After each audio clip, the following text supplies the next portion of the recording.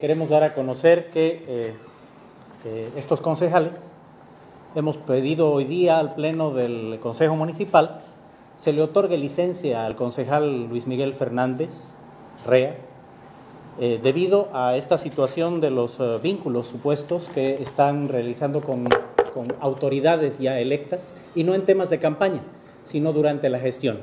Los videos han sido públicos y en este tenor para que se sigue el proceso de devolverle la honorabilidad al Consejo Municipal, es que nosotros estamos solicitando al Pleno, se le otorgue la licencia respectiva a nuestro colega concejal para que él pueda defenderse.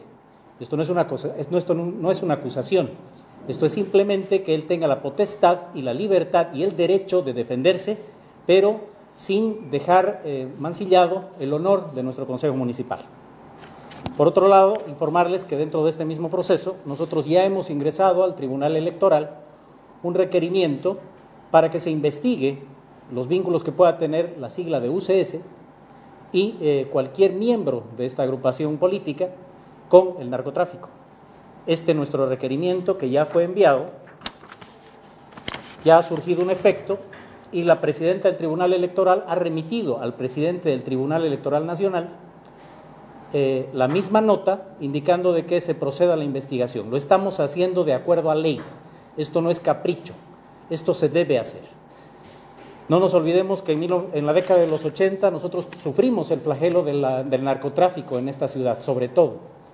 Y el narcotráfico se llevó vidas de ilustres hijos de nuestra ciudad. No podemos permitir que esto vuelva a ocurrir.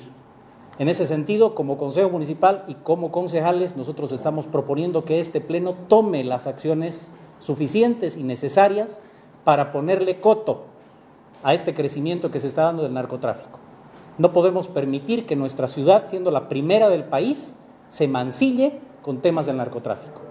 Y si el alcalde municipal no va a tomar las acciones necesarias, nosotros lo vamos a hacer.